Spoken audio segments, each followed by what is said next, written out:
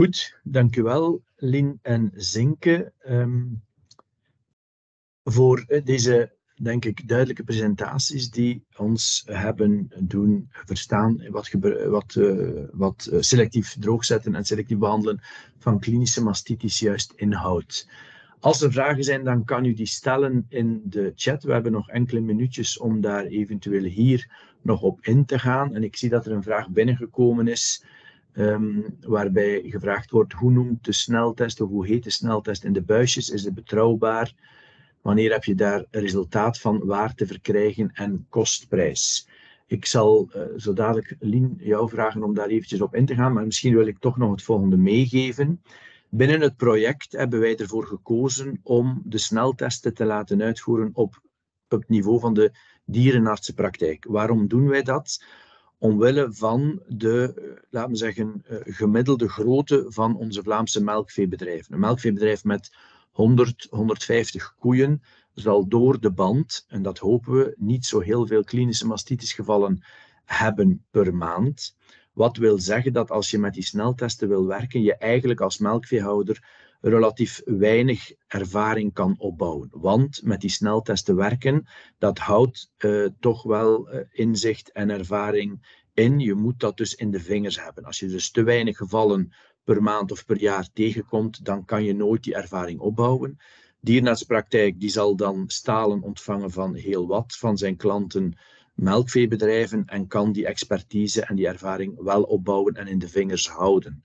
Dus dat is onze keuze. Hele grote melkveebedrijven kunnen dat wel zelf. Dat is wat we zien in de, eh, laten we zeggen, VS en in Canada bijvoorbeeld, waar dit uh, wel mogelijk is. Maar dan heb je echt iemand nodig die dit uh, continu zelf doet, die ervaring opbouwt en vasthoudt.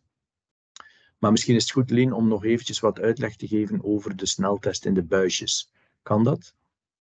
Ja, um, de sneltest in de buisjes, dus de eerste foto met de, de roze en het blauwe, is de Vetoslide. Die is van Vetoquinol. De kostprijs ken ik niet van buiten, dus uh, daar zou ik over liegen. Um, is die betrouwbaar? De selectiviteit, uh, de sensitiviteit en de specificiteit zijn vrij oké, maar ik heb er zelf geen ervaring mee dus um, als je daar interesse in hebt, eh, zou je beter iemand van Vetoquinol um, contacteren om daar verder naar te vragen. Voor mijn um, project werken wij met de Micromast, dat is een Tsjechisch product, en de uh, Veto Rapid van Vetoquinol, dat zijn agarplaten. Um, daar kunnen wij verder gaan differentiëren in kiemen. De Veto Slide, dus deze met de, de, de, de buisjes, Um, daar kun je niet verder differentiëren. Dus het enige wat je daaruit gaat halen is of de kiem gram-positief of gram-negatief is. Maar als je daar verder informatie over wilt, um, zou je best even uh, Vetoquinol contacteren. Um, er komt binnenkort ook een artikel in het Vlaams Diergeneeskundig Tijdschrift waarbij dat de sneltesten besproken worden. en daar kun je ook al heel wat informatie in vinden. Dank u wel. Daarnaast wordt de vraag gesteld welke droogzetten raadt u aan voor selectief droogzetten. Um, dat is een, een, interessante vraag, maar dat is eigenlijk een vraag die je moet bespreken met de dierenarts. In die zin dat ook bij selectief droogzetten de keuze van de droogzetter met antibiotica, die dus ook nog voor bepaald, uh, bepaalde koeien nodig zal hebben, dat die keuze daarvan nog steeds onderbouwd moet worden op basis van bacteriologisch onderzoek. Dus het type droogzetter dat u wenst te gebruiken binnen selectief of buiten selectief, is eigenlijk is, is in essentie bepaald door wat er op uw bedrijf voorkomt. Welke ontstekingsremmers kunnen we gebruiken? Daarvoor verwijzen we uiteraard naar jullie dierenarts die dat perfect uh, kan beantwoorden. Welke ontstekingsremmer hij of zij graag gebruikt en welke bij uw bedrijf het best zal uh, passen. Dan nog een volgende vraag. Kan in bepaalde omstandigheden droogzetten als een metafylaxe verantwoord worden? Bijvoorbeeld op basis van hoog risico voor de koeien die geen subklinische mastitis hebben. Ik weet niet, Zinke, wil jij daar eventueel op antwoorden? Of Lin?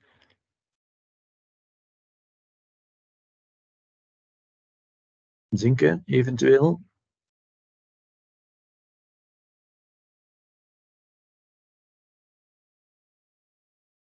Zo niet, dan zal ik zelf eh, daar kort op antwoorden. ja, metafylaxe is inderdaad, laten we zeggen, iets anders dan preventie. maar ik denk dat het inzetten van droogzetters onder die noemer laten we zeggen, eigenlijk moeilijk verdedigbaar blijft. Zeker bij koeien die geen subklinische mastitis hebben, dan is er, dat weten we dus uit de literatuur, en dat is ook wat onderzocht is geweest in Vlaanderen, uh, koeien die geen subklinische mastitis hebben op het moment van droogzetten, moeten niet met antibiotica behandeld worden. Wel moet er werk gemaakt worden van een geoptimaliseerd droogzetmanagement. Wordt er best gebruik gemaakt van interne uh, speenafsluiters en dat is de beste manier om dat, uh, laten we zeggen, te gaan aanpakken. Dan nog een vraag over Waalse melkveebedrijven. De Europese wetgeving geldt ook daar, uiteraard. Dus of men daar alleen, of dat men alleen in Wallonië uit de lucht valt en in Vlaanderen nooit, dat durf ik te betwijfelen. Dus laat ons daar geen, uh, geen, uh, geen grens trekken. Um, ook bij ons zijn er nog bedrijven die daar, laten we zeggen, te weinig weet van hebben. Maar dus uiteraard is die Europese wetgeving van toepassing op uh, alle EU-lidstaten. En Wallonië is een deel van een EU-lidstaat, dus daar is het ook van toepassing. Dan nog de laatste vraag misschien. Als de gram-negatieve niet behandelde koeien meegemolken worden, gaat die melk dan toch in de tank? Is dit geen probleem voor de kwaliteit van de melk? Ik weet niet, Zinke, wil jij daar eventueel op antwoorden? Heeft mogelijk zijn effect op, de, op het koliegetal, veronderstel ik? Zinke, ik denk dat zinke, zinke moest al door, dus ik denk ah, dat zinke er, eh, er, niet meer is. Ja. Uh, natuurlijk, het is niet omdat ze niet met antibioticum behandeld is, dat je koeien met vlokken mee kunt melken in de tank natuurlijk. Hè. Gaat ze gewoon, vanaf dat ze klinisch genezen is, kunnen ze terug meetanken met de melk. Um, de, de wachttijd is gewoon korter, omdat er gewoon geen wachttijd met antibioticum is. Dus um, het is niet omdat ze niet met antibioticum behandeld is, dat je ze gewoon mocht meemelken met de tank. Hè. Ja, dus dat is heel belangrijk. Hè. Dus koeien met afwijkende melk mag nooit... Uh, nooit, mee, nooit uh, verkocht worden. Hè. Dat is ook Europese wetgeving die al heel lang bestaat. Hè. Dus uiteraard heel juist. Lien, misschien nog een laatste vraag voor jou. 24 of 48 uur wachten is toch lang. Ondertussen kan de koe nog zieker worden. Ja het, is uit, ja, het is uiteraard niet de bedoeling dat je de koe gewoon links laat liggen. Dus in die 24 of 48 uur moet je de koe natuurlijk ook altijd monitoren. Hè.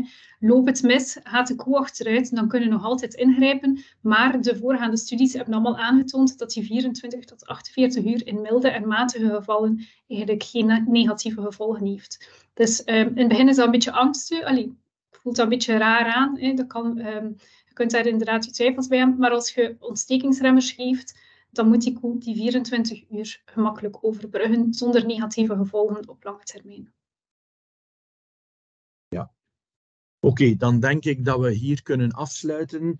Ik wil graag toch nog uh, enkele mensen bedanken uh, eerst en vooral, ik zit nog even naar de chat te lezen, ondertussen ben afgeleid. Dus inderdaad, Serratia marquescens is een gram-negatieve bacterie.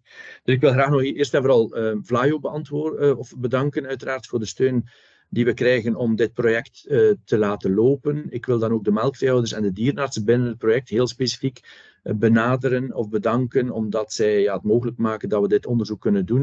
Ik wil ook graag Lien en Zinke bedanken voor hun bijdrage vandaag. Ook de partners DGZ, Hooibeekhoeve en Ilvo wens ik te bedanken en uiteraard jullie allemaal.